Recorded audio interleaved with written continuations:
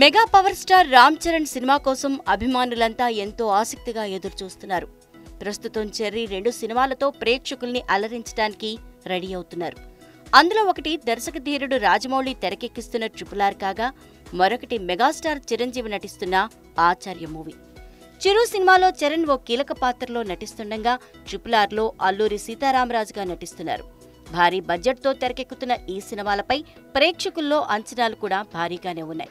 ఈ రెండు సినిమాలే కాకుండా టాప్ డైరెక్టర్ శంకర్ డైరెక్షన్లో చరణ్ ఓ సినిమా చేయబోతున్నారు.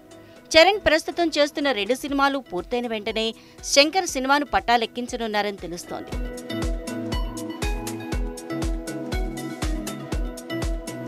Top director శంకర్తో mega hero Ram Charan cinema చేయబోతున్నట్లు అధికారికంగా ప్రకటించిన దగ్గర నుంచి అభిమానుల ఆనందానికి అవతులేవు అయితే శంకర్ ప్రస్తుతం కమల్ హాసన్తో భారతీయుడు టూ సినిమా చేస్తున్నారు.